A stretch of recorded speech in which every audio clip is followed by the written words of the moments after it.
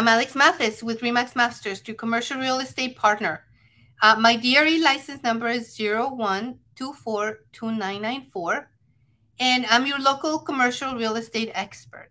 And today I want to talk to you about inventory and how it differs from the residential inventory. When you're talking about residential and you look, you're looking for properties for sale, you go straight to the MLS.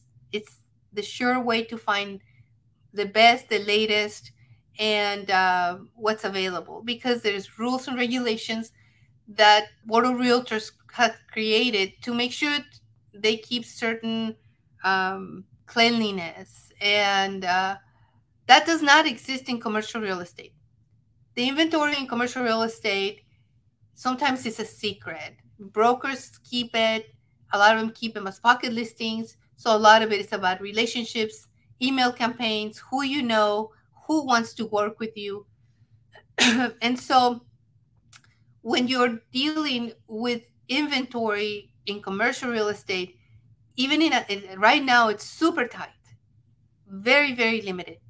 Most of the inventory is kept off LoopNet, CoStar, or Craigslist, or um, any of the commercial sites. So the only way right now, most of the good properties, the only way to find them is through relationships. Who you know, your database. Uh, I have a huge relationship with um, all the CCIMs throughout the country. There's 12,000 of us. and then through us, we help each other network. And uh, find, when we're looking for something that we can find, we all consult with each other to help each other because unlike residential, we don't have one source only of where to look for properties, but we have to go to many, many different places. And with inventory being as tight as it is, it makes it more difficult. So if you're looking for a reliable commercial partner that has the resources to help you find what your clients need, I'm here. Don't walk away from that business. I will look forward to hearing from you.